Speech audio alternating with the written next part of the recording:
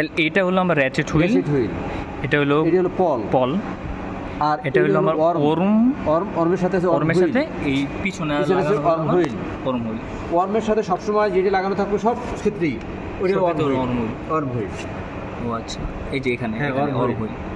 হুইলের সাথে যে ওই শ্যাফটের সাথে আছে বিম ড্রাইভিং পিনিয়ন। ওই ছোটটা বিম হ্যাঁ, beam driving driving pinion. Beam driving পিনিয়নের সাথে আছে বিম হুইল। বিম হুইল হ্যাঁ।